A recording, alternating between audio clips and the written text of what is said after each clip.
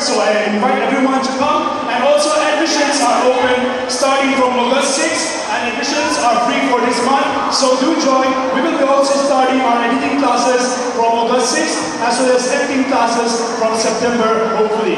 Thank you everyone for coming. We hope you had a good night, and we invite everyone to come again to our next showcase. Thank you and good night. And then also to the new scholarship members, we, we uh, inform you to be in the studio submitting your certificate by 12 noon.